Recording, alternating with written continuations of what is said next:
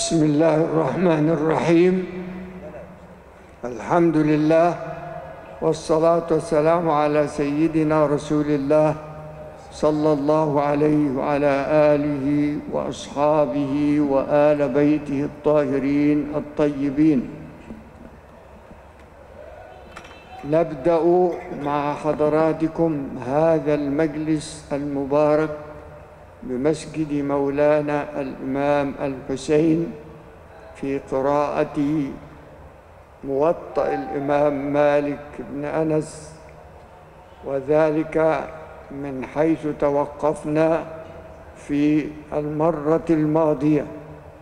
ونفتتح هذا المجلس بقراءة كريمة من آيات الله الحكيم. يطلع علينا فضيلة الشيخ محمد حسن إمام وخطيب بإدارة أوقاف القاهرة. فليتفضل. أعوذ بالله من الشيطان الرجيم.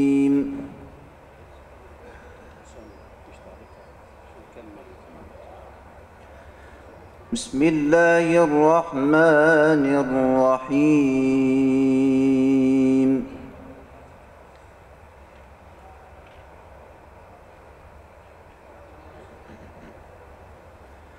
لقد جاءكم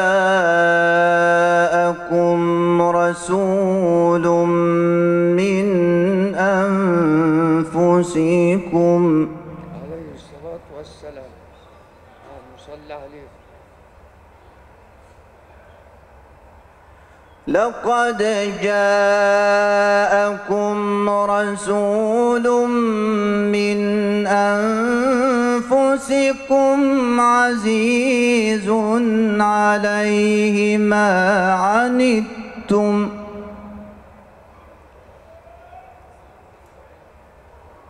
حريص عليكم حريص عليكم بالمؤمنين رؤوف رحيم.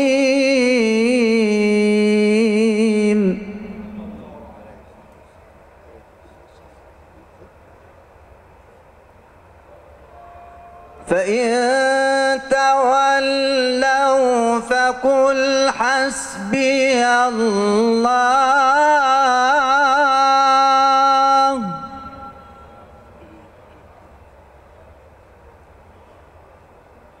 فقل حسبي الله لا إله إلا هو عليه توكلت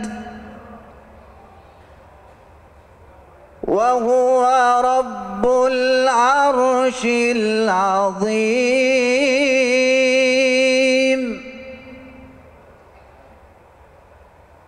بسم الله الرحمن الرحيم إنا أعطيناك الكوثر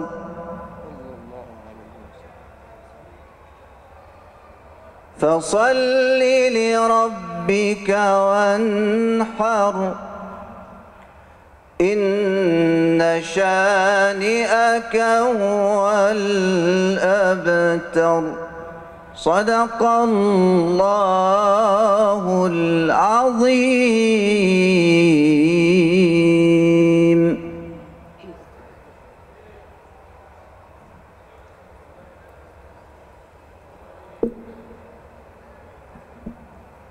يقول الإمام مالك رضي الله عنه في موطئه باب العمل في الهدي إذا عطب أو ضل.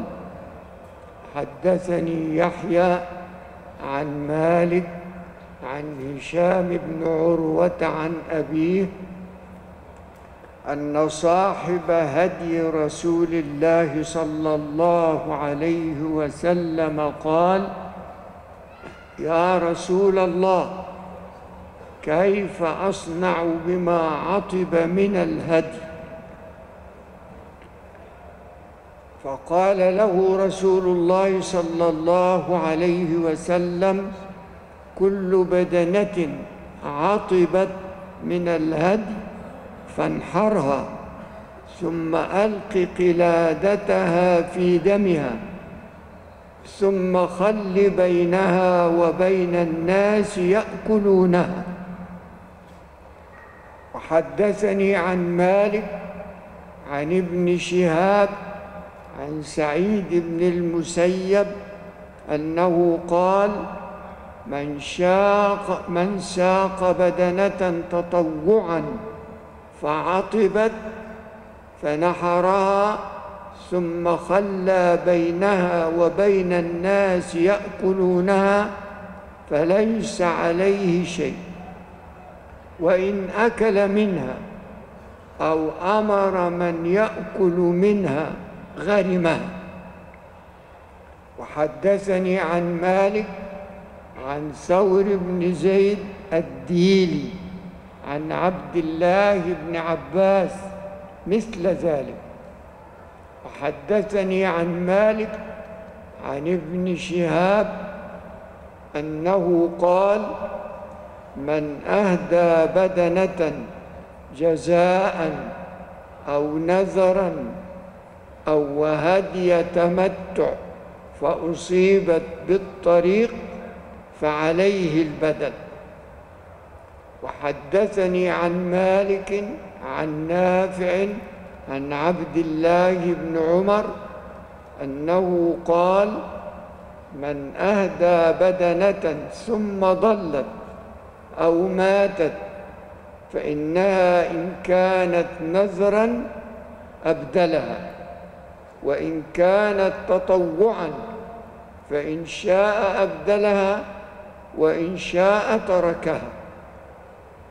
وحدثني عن مالك أنه سمع أهل العلم يقولون لا يأكل صاحب الهدي من الجزاء والنسك. باب هدي المحرم إذا أصاب أهله. حدثني يحيى عن مالك أنه بلغه أن عمر بن الخطاب وعلي بن أبي طالب وأبا هريرة سئلوا عن رجل أصاب أهله وهو محرم بالحج. فقالوا ينفذان لوجههما حتى يقضيا حجهما ثم عليهما حج قابل والهدي. قال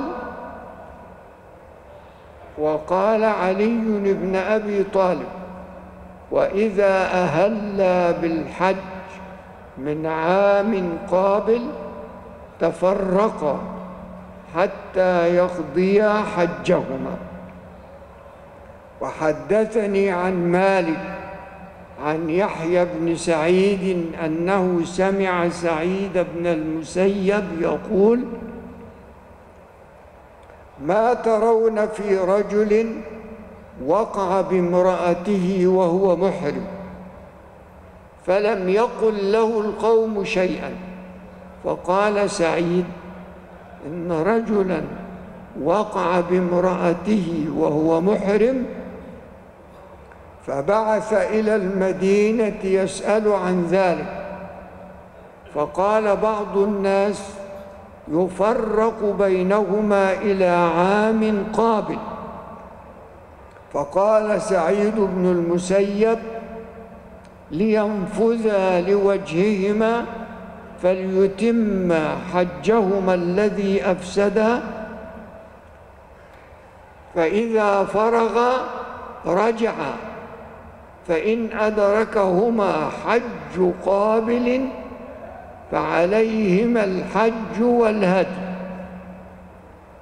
ويهلان من حيث أهلا بحجهما الذي أفسد. ويتفرقان حتى يقضي حجهما. قال مالك يهديان جميعا بدنة. بدنة بدنة بدنة. قال مالك في رجل وقع بامرأته في الحج ما بينه وبين أن يدفع من عرفة ويرمي الجمرة إنه يجب عليه الهدي وحج قابل. قال فإن كانت إصابته أهله بعد رمي الجمرة فإنما عليه أن يعتمر ويهدي وليس عليه حج قابل. قال مالك الذي يفسد الحج أو العمرة حتى يجب في ذلك الهدي في الحج أو العمرة التقاء الختانين وإن لم يكن ماء دافئ. قال مالك ويوجب ذلك أيضا الماء الدافق إذا كان من مباشرة. فأما رجل ذكر شيئا حتى خرج منه ماء دافق فلا أرى عليه شيئا. قال مالك ولو أن رجلا قبل امرأته ولم يكن من ذلك ماء دافق لم يكن عليه في القبلة إلا الهدي. قال مالك ليس على المرأة التي يصيبها زوجها وهي محرمة مرارا في الحج أو العمرة وهي له في ذلك مطاوعة إلا الهدي وحج قابل إن أصابها في الحج وإن كان أصابها في العمرة فإنما عليها قضاء العمرة التي أفسدت والهدي. باب هدي من فاته الحج. حدثني يحيى عن مالك عن يحيى بن سعيد أنه قال أخبرني سليمان بن يسار أن أبا أيوب الأنصاري خرج حاجا حتى إذا كان بالنازية من طريق مكة أضل رواحله وإنه قدم على عمر بن الخطاب يوم النحر فذكر ذلك له. فقال عمر اصنع ما يصنع المعتمر ثم قد حللت فإذا أدركك الحج قابلا فاحجب.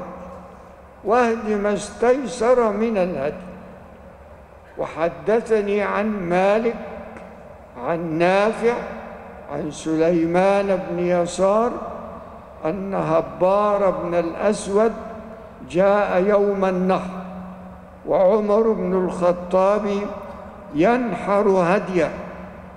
فقال يا أمير المؤمنين أخطأنا العدة كنا نرى أن هذا اليوم يوم عرفة. فقال عمر اذهب إلى مكة فطف أنت ومن معك وانحروا هديا إن كان معكم ثم احلقوا أو قصروا وارجعوا فإن كان عام قابل فحجوا. واهدوا فمن لم يجد فصيام ثلاثة أيام في الحج وسبعة إذا رجع. قال مالك ومن قرن الحج والعمرة ثم فاته الحج فعليه أن يحج قابلا ويقرن بين الحج والعمرة ويهدي هديين هديا لقرانه الحج مع العمرة وهديا لما فاته من الحج.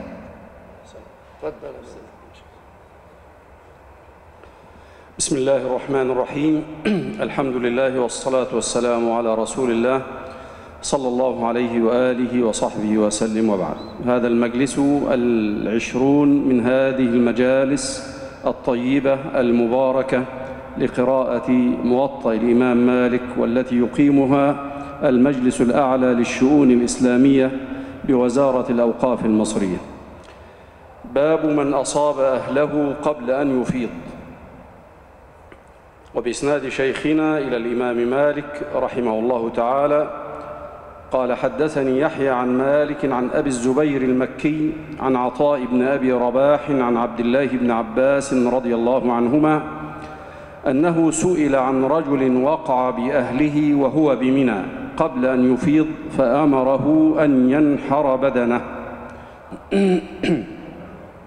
قال وحدثني عن مالك عن ثور بن زيد الديلي عن عكرمة مولى بن عباس قال لا أظنه إلا عن عبد الله بن عباس رضي الله عنهما أنه قال الذي يصيب أهله قبل أن يفيض يعتمر ويهدي. قال وحدثني عن مالك أنه سمع ربيعة بن أبي عبد الرحمن يقول سمع ربيعة بن أبي عبد الرحمن يقول في ذلك مثل قول عكرمة عن ابن عباس. قال مالك وذلك أحب ما سمعت إلي في ذلك. وسئل مالك عن رجل نسي الإفاضة حتى خرج من مكة ورجع إلى بلاده فقال أرى إن لم يكن أصاب النساء فليرجع فليفض وإن كان أصاب النساء فليرجع فليفض ثم ليعتمر وليهد. ولا ينبغي له أن يشتري هديه من مكة وينحره بها ولكن إن لم يكن ساقه معه من حيث اعتمر فليشتريه بمكة ثم ليخرجه إلى الحل فليسقه منه إلى مكة ثم ينحره بها. باب ما استيسر من الهدي. قال وحدثني عن مالك عن جعفر بن محمد عن أبيه أن علي بن أبا إن, أن علي بن أبي طالب رضي الله عنه كان يقول ما استيسر من الهدي شاة. قال وحدثني عن مالك أنه بلغه أن عبد الله بن عباس أن عبد الله بن عباس رضي الله عنهما كان يقول ما استيسر من الهدي شاة.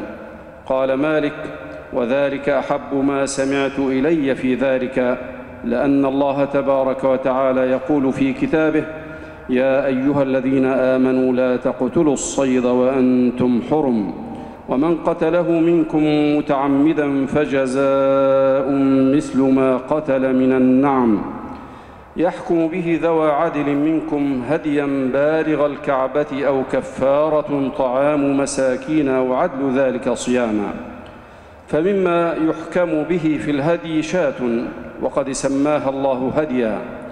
وذلك الذي لا اختلاف فيه عندنا وكيف يشك أحد في ذلك؟ وكل شيء لا يبلغ أن يحكم فيه ببعير أو بقرة فالحكم فيه بشاة. وما لا يبلغ أن يحكم فيه بشاة فهو كفارة من صيام أو إطعام مساكين. قال وحدثني عن مالك عن نافع أن عبد الله بن عمر رضي الله عنهما كان يقول ما استيسر من الهدي بدنة أو بقرة. قال وحدثني عن مالك عن عبد الله بن أبي بكر أن مولاة لعمرة بنت عبد الرحمن يقال لها رقية.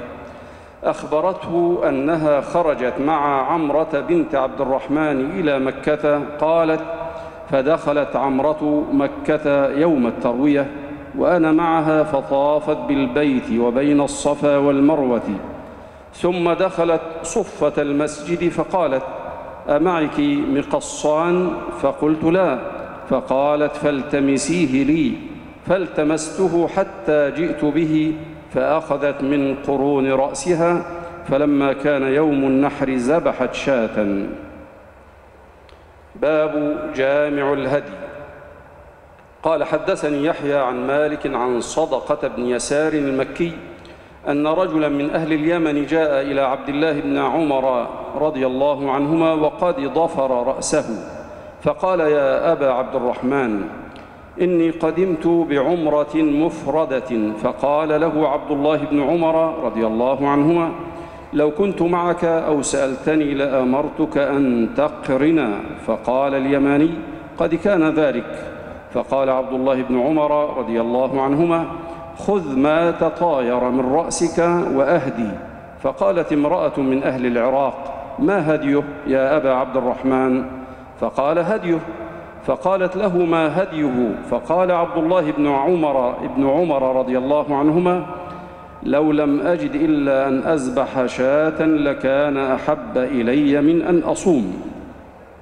قال وحدثني عن مالك عن نافع أن عبد الله بن عمر رضي الله عنهما كان يقول المرأة المحرمة إذا حلت لم تمتشط حتى تأخذ من قرون رأسها.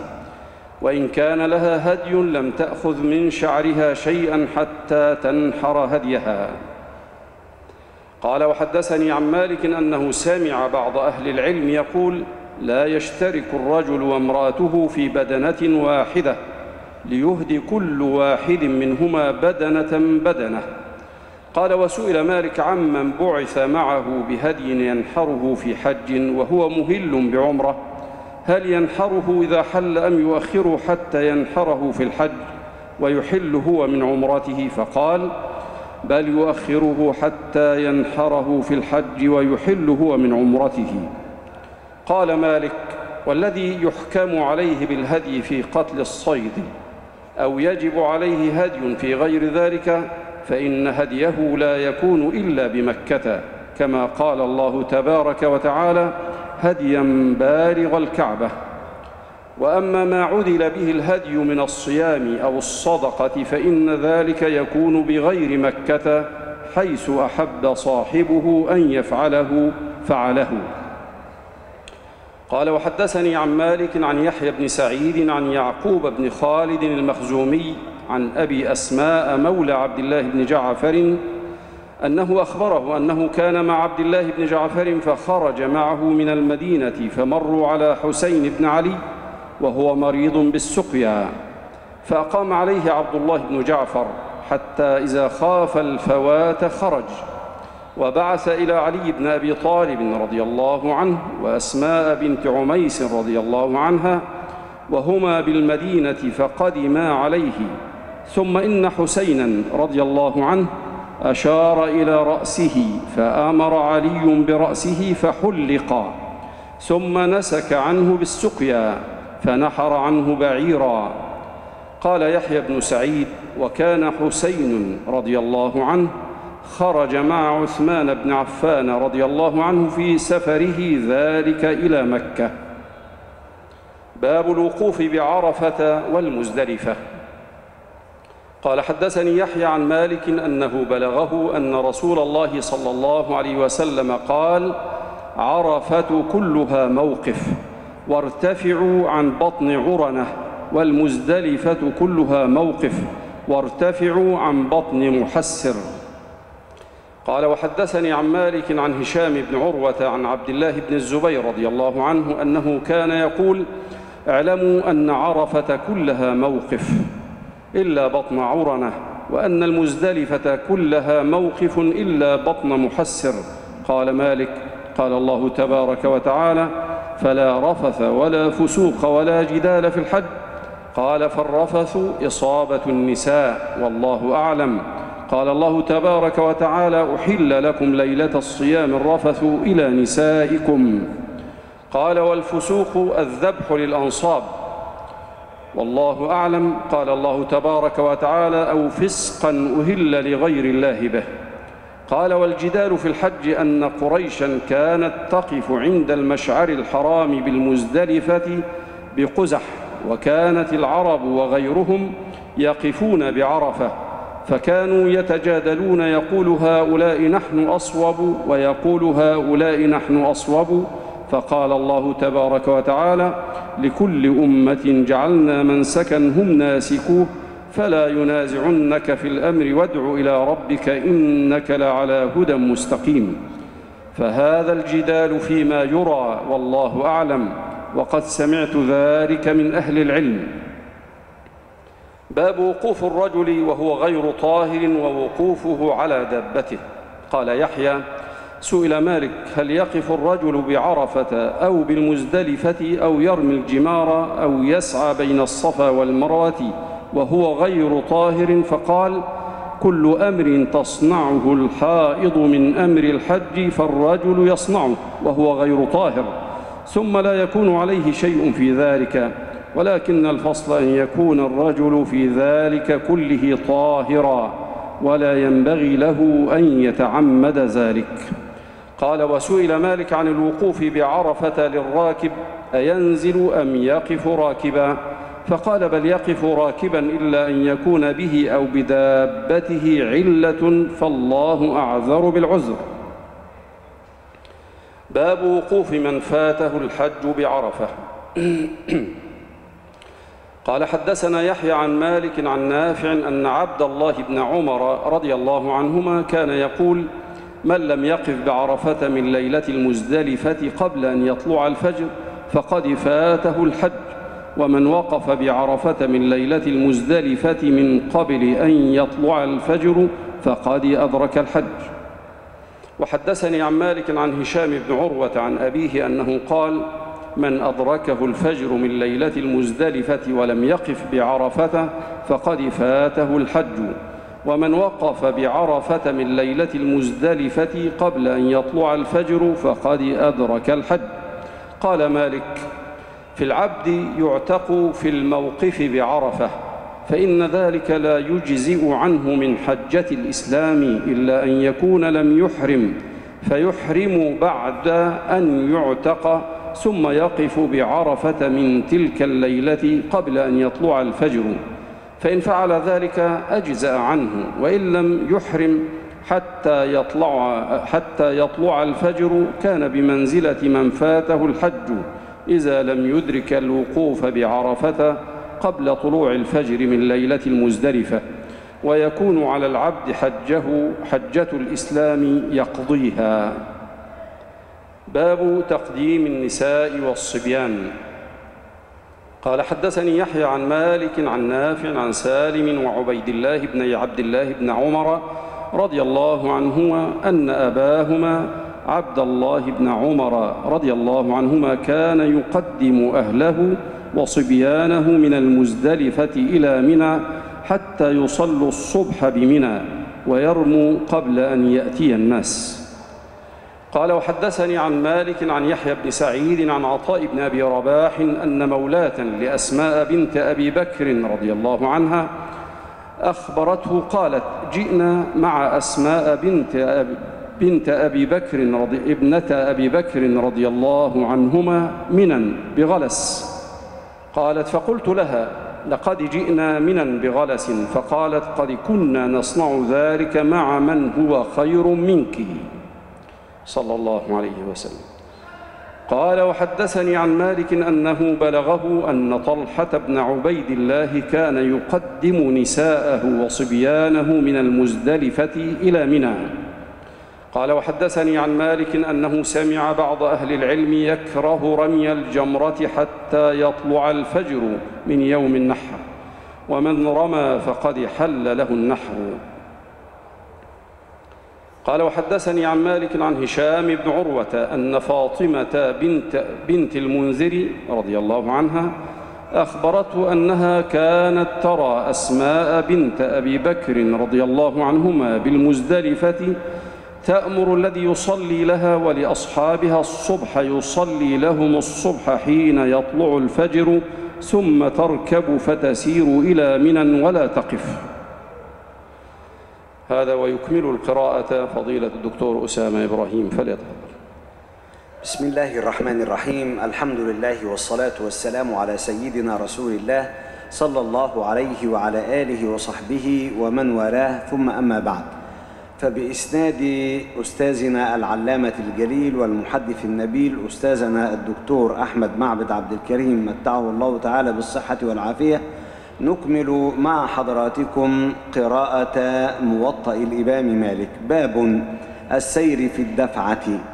قال حدثني يحيى عن مالك عن هشام بن عروة عن أبيه أنه قال سئل أسامة بن زيد وأنا جالس معه كيف كان يسير رسول الله صلى الله عليه وسلم في حجة الوداع حين دفع؟ فقال كان يسير العنق فإذا وجد فجوة نص. والعنق سير بين الإبطاء والإسراع قال مالك قال هشام والنص فوق العنق. قال وحدثني عن مالك عن نافع أن عبد الله بن عمر رضي الله عنهما كان يحرك راحلته في بطن محسر قدر رمية بحجر. باب ما جاء في النحر في الحج. قال حدثني يحيى عن مالك أنه بلغه أن رسول الله صلى الله عليه وسلم قال بمنى هذا المنحر وكل منى منحر وقال في العمرة هذا المنحر يعني المروة وكل فجاج مكة وطرقها منحر. قال وحدثني عن مالك عن يحيى بن سعيد قال أخبرتني عمرة بنت عبد الرحمن أنها سمعت عائشة أم المؤمنين رضي الله عنها تقول خرجنا مع رسول الله صلى الله عليه وسلم لخمس ليال بقينا من ذي القعدة ولا نرى إلا أنه الحج. فلما دنونا من مكة أمر رسول الله صلى الله عليه وسلم من لم يكن معه هدي إذا طاف بالبيت وسعى بين الصفا والمروة أن يحل. قالت عائشة رضي الله عنها فدخل علينا يوم النحر بلحم بقر. فقلت ما هذا؟ فقالوا نحر رسول الله صلى الله عليه وسلم عن أزواجه. قال يحيى بن سعيد فذكرت هذا الحديث للقاسم بن محمد فقال أتتك والله بالحديث على وجهه. قال وحدثني عن مالك عن نافع عن عبد الله بن عمر رضي الله عنهما عن حفصة أم المؤمنين رضي الله عنها أنها قالت لرسول الله صلى الله عليه وسلم ما شأن الناس حلوا ولم تحلل أنت من عمرتك. فقال إني لبدت رأسي وقلدت هديي فلا أحل حتى أنحر.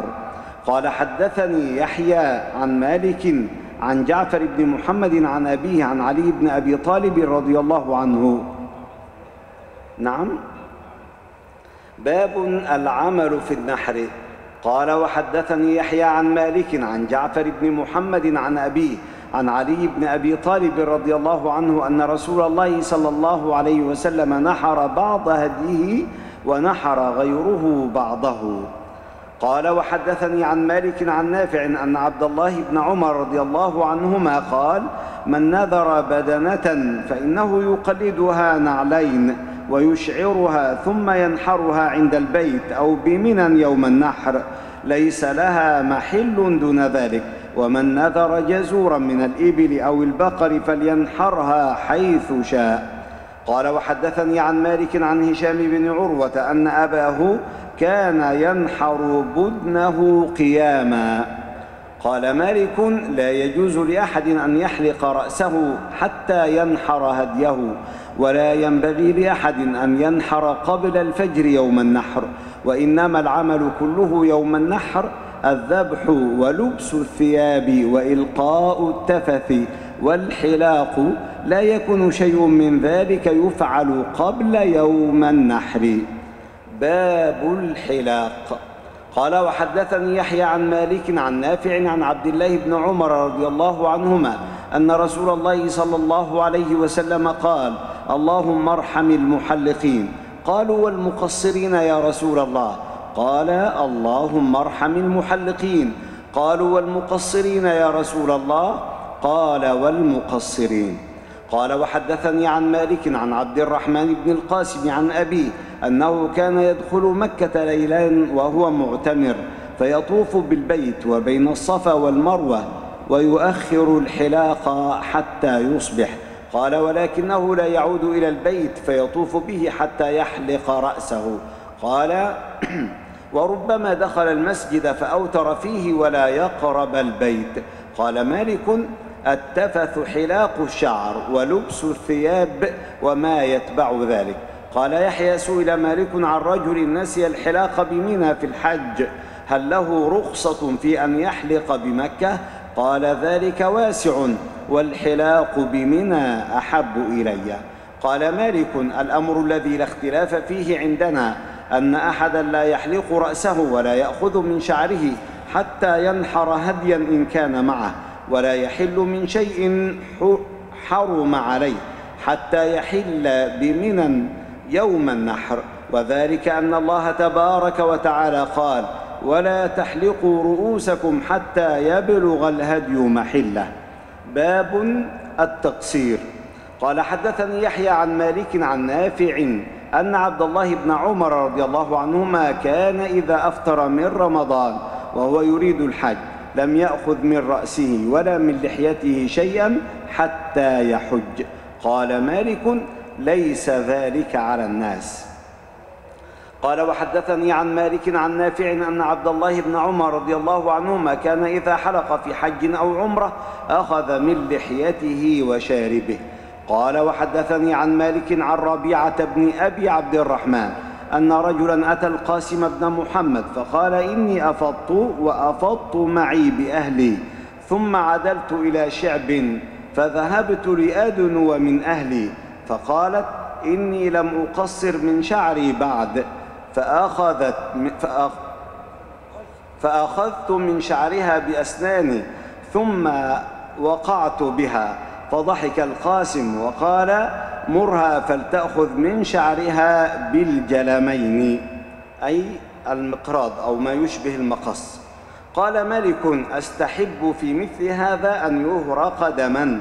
وذلك أن عبد الله بن عباس رضي الله عنهما قال من نسي من نسكه شيئا فليهرق دما. قال وحدثني عن مالك عن نافع عن عبد الله بن عمر رضي الله عنهما أنه لقي رجلا من أهله يقال له المجبر قد أفاض ولم يحلق ولم يقصر. جهل ذلك فأمره عبد الله رضي الله عنه أن يرجع فيحلق أو يقصر ثم يرجع إلى البيت فيفيض.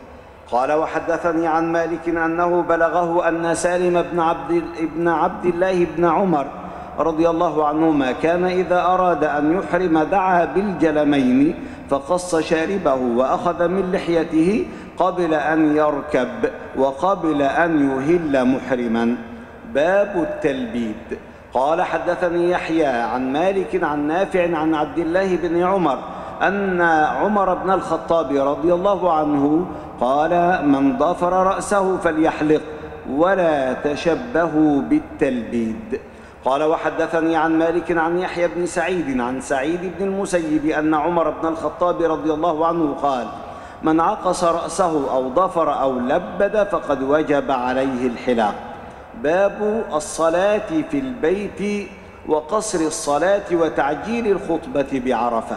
قال وحدثني يحيى عن مالك عن نافع عن عبد الله بن عمر رضي الله عنهما أن رسول الله صلى الله عليه وسلم دخل الكعبة هو وأسامة بن زيد وبلال بن رباح وعثمان بن طلحة الحجبي فأغلقها عليه ومكث فيها.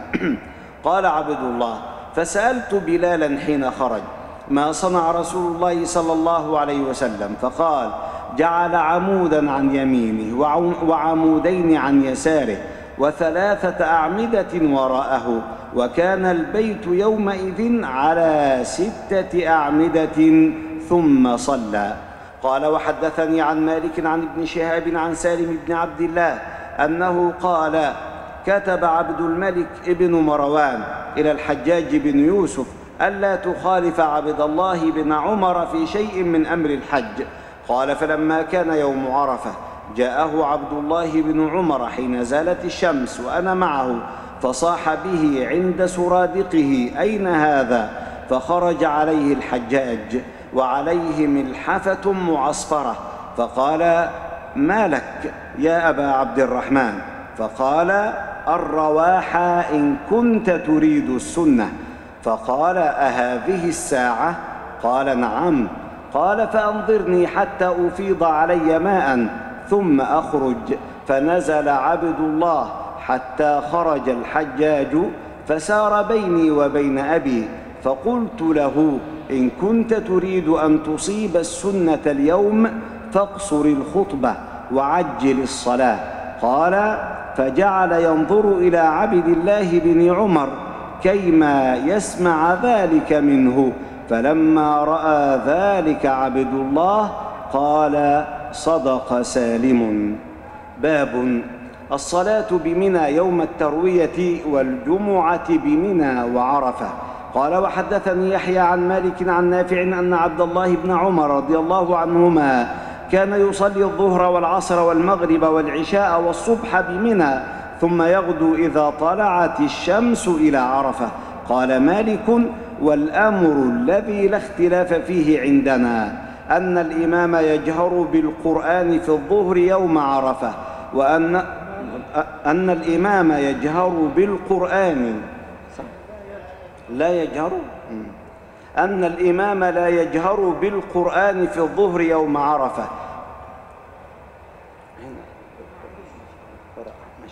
أن الإمام لا يجهر بالقراءة في الظهر يوم عرفة. وأنه يخطب الناس يوم عرفة وأن الصلاة يوم عرفة إنما هي ظهر وإن وافقت الجمعة فإنما هي ظهر ولكنها قصرت من أجل السفر.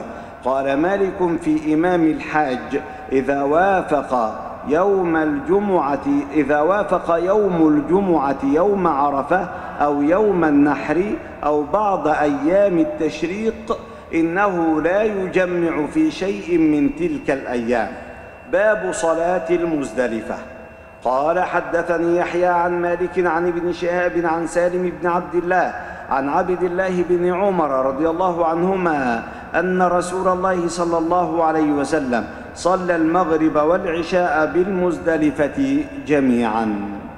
قال وحدثني عن مالك عن موسى بن عقبة عن كريب مولى بن عباس عن أسامة بن زيد أنه سمعه رضي الله عنه أنه سمعه يقول دفع رسول الله صلى الله عليه وسلم من عرفة حتى إذا كان بالشعب نزل فبال فتوضأ فلم يسبغ الوضوء فقلت له الصلاة يا رسول الله؟ فقال الصلاة أمامك. فركب فلما جاء المزدلفة نزل فتوضأ فأسبغ الوضوء ثم أقيمت الصلاة فصلى المغرب ثم أناخ كل إنسان بعيره في منزله ثم أقيمت العشاء فصلاها ولم يصلي بينهما شيئا. قال وحدثني عن مالك عن يحيى بن سعيد عن عدي بن ثابت الأنصاري رضي الله عنه أن عبد الله بن يزيد الخطمي أخبره أن أبا أيوب الأنصاري أخبره أنه صلى مع رسول الله صلى الله عليه وسلم في حجة الوداع المغرب والعشاء بالمزدلفة جميعا. قال وحدثني عن مالك عن نافع أن عبد الله بن عمر رضي الله عنهما كان يصلي المغرب والعشاء بالمزدلفة جميعا. باب صلاة منى. قال الإمام مالك رحمه الله في أهل مكة إنهم يصلون بمنى إذا حجوا ركعتين ركعتين حتى ينصرفوا إلى مكة. قال وحدثني يحيى عن مالك عن هشام بن عروة عن أبيه أن رسول الله صلى الله عليه وسلم صلى الصلاة الرباعية بمنى ركعتين وأن أبا بكر رضي الله عنه صلاها بمنى ركعتين. وأن عمر بن الخطاب رضي الله عنه صلاها بمنى ركعتين وأن عثمان رضي الله عنه صلاها بمنى ركعتين شطر إمارته ثم أتمها بعد. قال وحدثني عن مالك عن ابن شهاب عن سعيد بن المسيب رضي الله عنه أن عمر بن الخطاب رضي الله عنه لما قدم مكة صلى بهم ركعتين ثم انصرف فقال يا أهل مكة أتموا صلاتكم فإنا قوم سفر. ثم صلى عمر بن الخطاب رضي الله عنه ركعتين بمنى ولم يبلغنا أنه قال لهم شيئا. قال وحدثني عن مالك عن زيد بن أسلم عن أبيه أن عمر بن الخطاب رضي الله عنه صلى للناس بمكة ركعتين فلما انصرف قال يا أهل مكة أتموا صلاتكم فإنا قوم سفر. ثم صلى عمر ركعتين بمنى بمنى ولم يبلغنا أنه قال لهم شيئا. سئل مالك عن أهل مكة كيف صلاتهم بعرفة؟ أركعتان أم أربع؟ وكيف بأمير الحاج إن كان من أهل مكة؟ أيصلي الظهر والعصر بعرفة أربع ركعات أو ركعتين وكيف صلاة أهل مكة في إقامتهم؟ فقال مالك رضي الله عنه يصلي أهل مكة بعرفة ومنى ما أقاموا بهما ركعتين ركعتين يقصرون الصلاة حتى يرجعوا إلى مكة. قال وأمير الحاج أيضا إذا كان من أهل مكة قصر الصلاة بعرفة وأيام منى وإن كان أحد ساكنا بمنى مقيما بها فإن ذلك يتم الصلاة بمنى وإن كان أحد ساكنا بعرفة مقيما بها فإن ذلك يتم الصلاة بها أيضا. باب صلاة المقيم بمكة ومنى. قال وحدثني يحيى عن مالك أنه قال من قدم مكة لهلال ذي الحجة فأهل بالحج فإنه يتم الصلاة حتى يخرج من مكة لمنى فيقصر وذلك أنه أجمع أجمع على مقام أكثر من أربع ليال. ويكمل القراءة أخي الكريم الدكتور محمد عبد الفتاح الدسوقي فليتفضل مشكورا.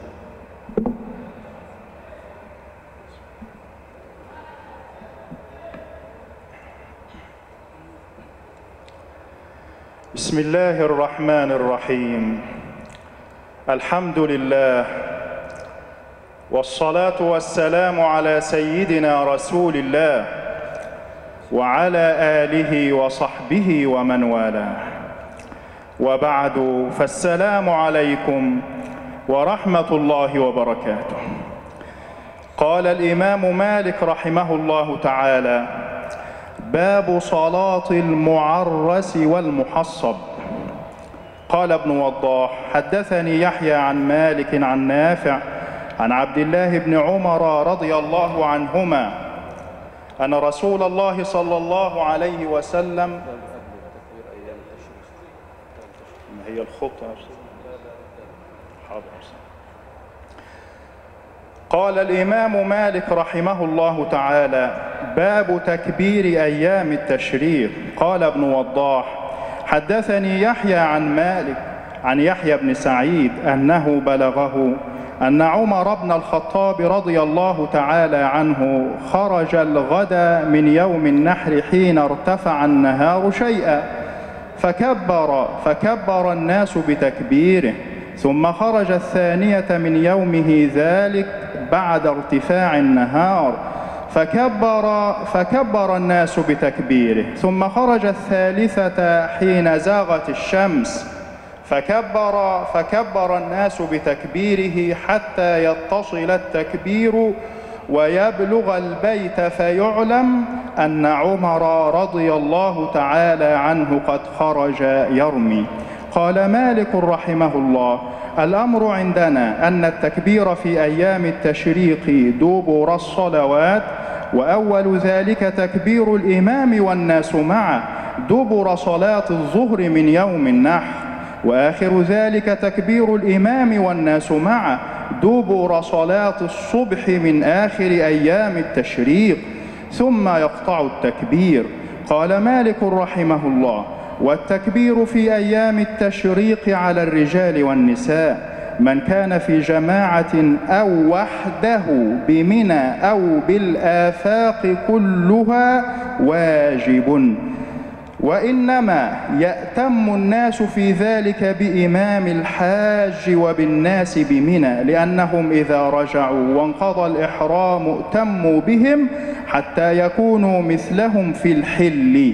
فأما من لم يكن حاجا فإنه لا يأتم بهم إلا في تكبير أيام التشريق. قال مالك رحمه الله الأيام المعدودات أيام التشريق.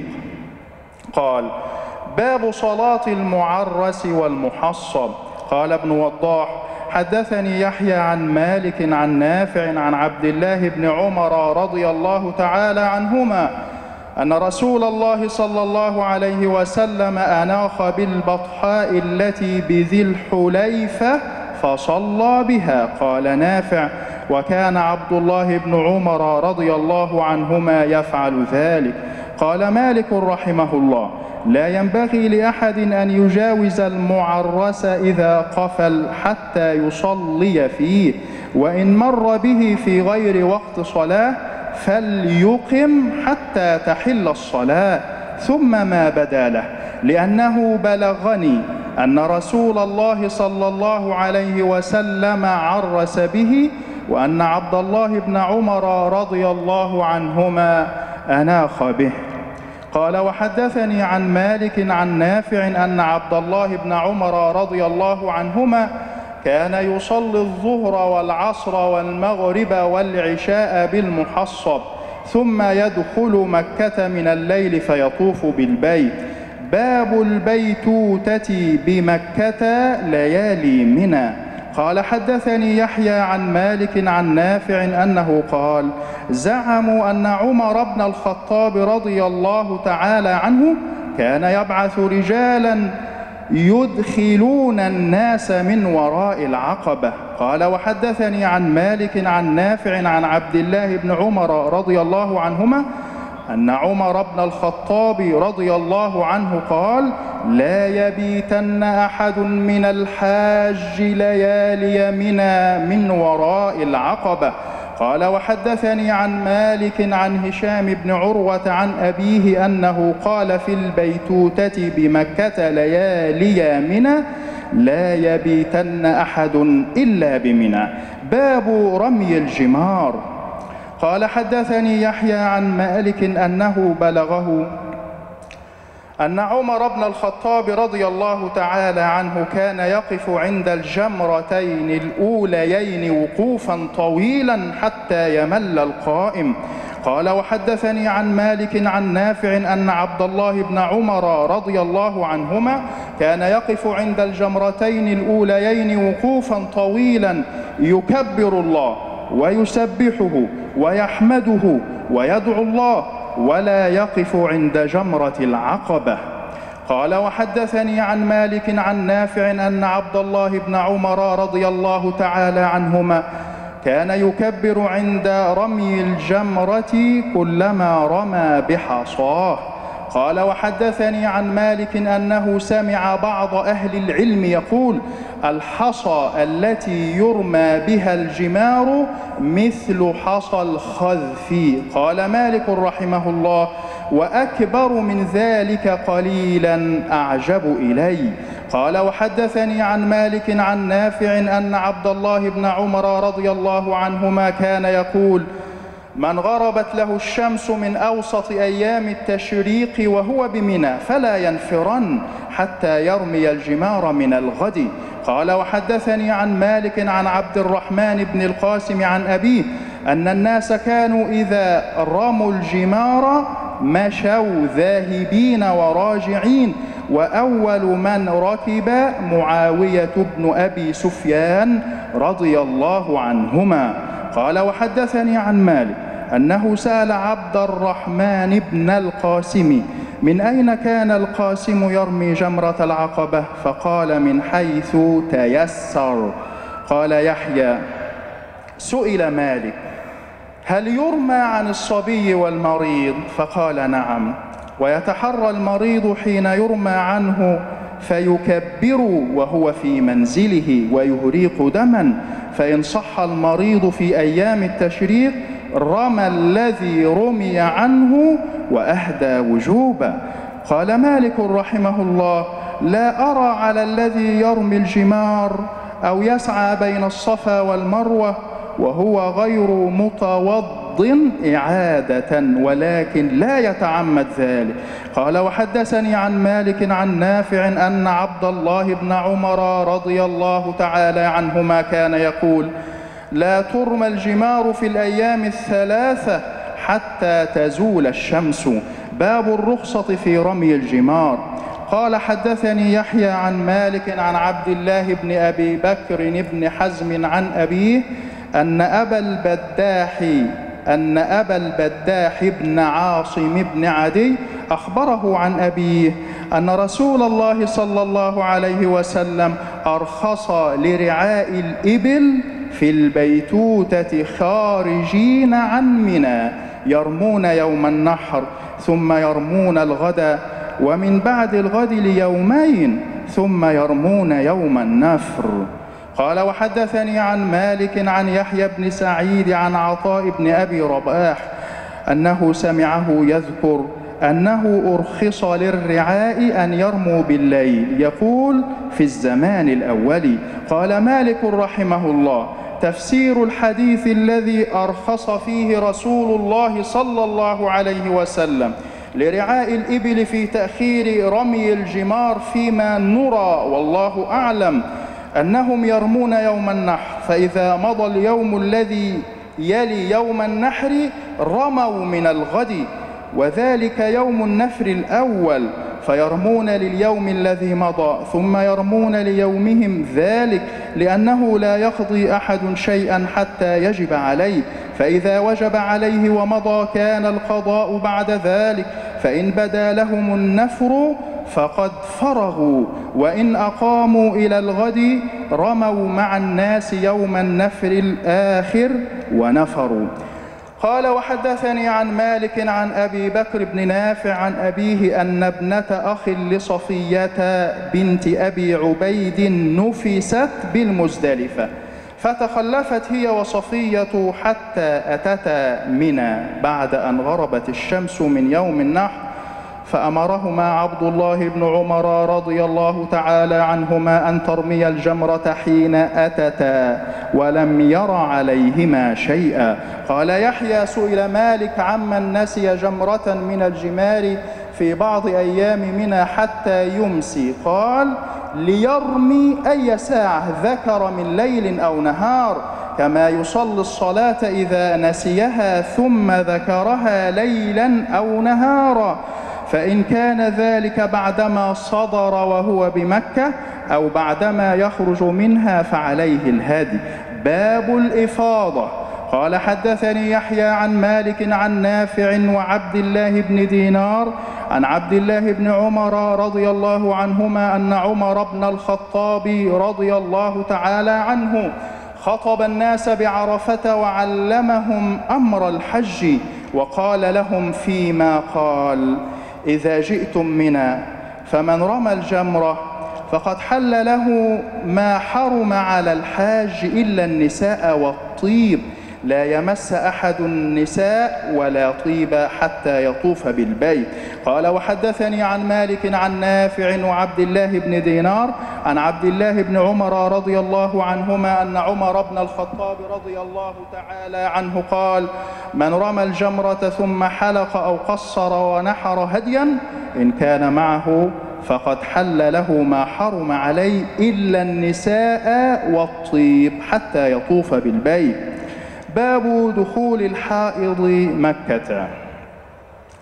قال حدثني يحيى عن مالك عن عبد الرحمن بن القاسم عن أبيه عن عائشة أم المؤمنين رضي الله تعالى عنها أنها قالت خرجنا مع رسول الله صلى الله عليه وسلم عام حجة الوداع فأهللنا بعمرة فأهللنا بعمرة. ثم قال رسول الله صلى الله عليه وسلم من كان معه هدي فليهلل بالحج مع العمرة ثم لا يحل حتى يحل منهما جميعا. قالت فقدمت مكة وأنا حائض فلم أطف بالبيت ولا بين الصفا والمروة فشكوت ذلك إلى رسول الله صلى الله عليه وسلم فقال انقضي رأسك وامتشطي وأهلي بالحج ودعي العمرة قالت ففعلت.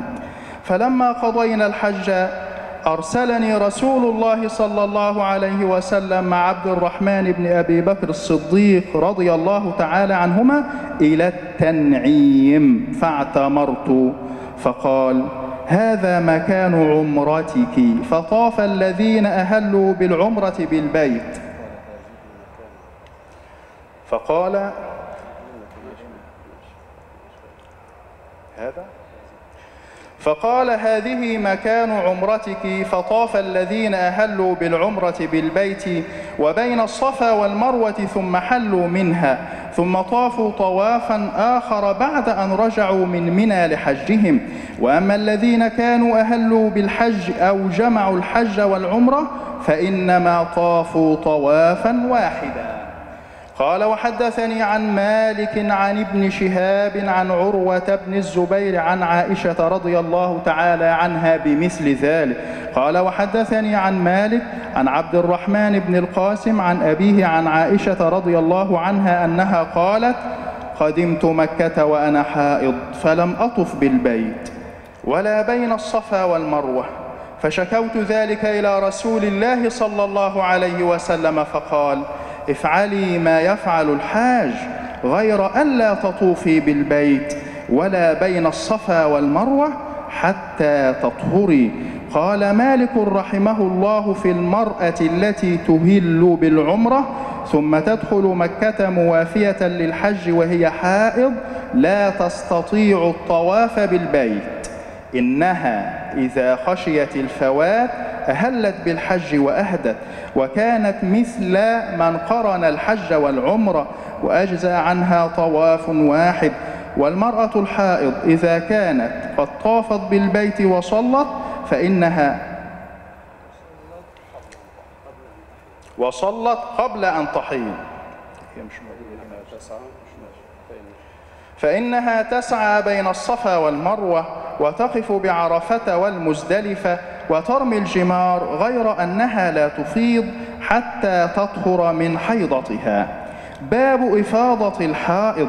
قال حدثني يحيى عن مالك عن عبد الرحمن بن القاسم عن أبيه عن عائشة أم المؤمنين رضي الله تعالى عنها أن صفية بنت حيي رضي الله تعالى عنها حاضت. فذكرت ذلك للنبي صلى الله عليه وسلم فقال أحابستنا هي فقيل إنها قد أفاضت؟ فقال فلا إذن. قال وحدثني عن مالك عن عبد الله بن أبي بكر بن حزم عن أبيه عن عمرة بنت عبد الرحمن عن عائشة أم المؤمنين رضي الله تعالى عنها أنها قالت لرسول الله صلى الله عليه وسلم يا رسول الله إن صفية بنت حيي رضي الله تعالى عنها قد حاضت. فقال رسول الله صلى الله عليه وسلم لعلها تحبسنا ألم تكن طافت معكن بالبيت؟ قلنا بلى. قال فاخرجن. قال وحدثني عن مالك عن أبي الرجال محمد بن عبد الرحمن عن عمرة بنت عبد الرحمن أن عائشة أم المؤمنين رضي الله تعالى عنها كانت إذا حجت ومعها نساء تخاف أن يحضن.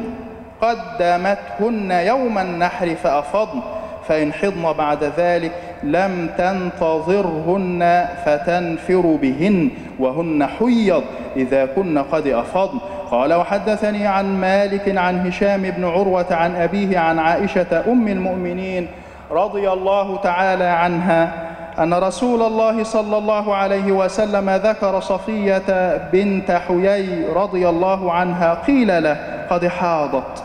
فقال رسول الله صلى الله عليه وسلم لعلها حابستنا. فقالوا يا رسول الله إنها قد طافت. فقال رسول الله صلى الله عليه وسلم فلا إذن.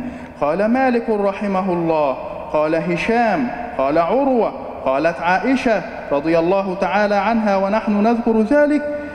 فلما يقدم الناس نساءهم إن كان ذلك لا ينفعهن. ولو كان الذي يقولون لأصبح بمنى أكثر من ستة آلاف امرأة حائض كلهن قد أفاضت. قال وحدثني عن مالك عن عبد الله بن أبي بكر عن أبيه أن أبا سلمة بن عبد الرحمن أخبره أن أم سليم بنت ملحان رضي الله تعالى عنها استفتت رسول الله صلى الله عليه وسلم وحاضت أو ولدت بعدما أفاضت يوم النحر فأذن لها رسول الله صلى الله عليه وسلم فخرج. قال مالك رحمه الله والمرأة تحيض بمنى تقيم والمرأة التي تحيض بمنى تقيم حتى تطوف بالبيت لا بد لها من ذلك وإن كانت قد أفاضت فحاضت بعض الإفاضة فحاضت بعد الإفاضة فلتنصرف إلى بلدها فإنه قد بلغنا في ذلك رخصة من رسول الله صلى الله عليه وسلم للحائض.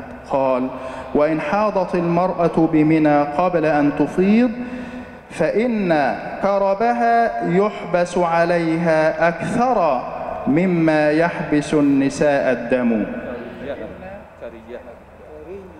فإن كريها.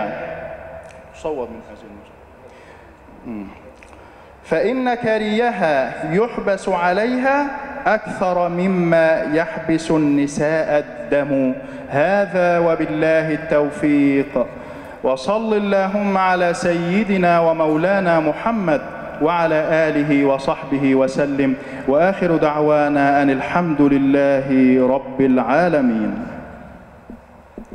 شكر الله لك يا عزيزي وشكر الله كل الحاضرين وجعل أجرهم على قدر نياتهم وتقبل منا جميعا ونختتم إلى هنا هذا المجلس إن شاء الله وصلى الله وسلم وبارك على سيدنا محمد وعلى آله وصحبه وسلم.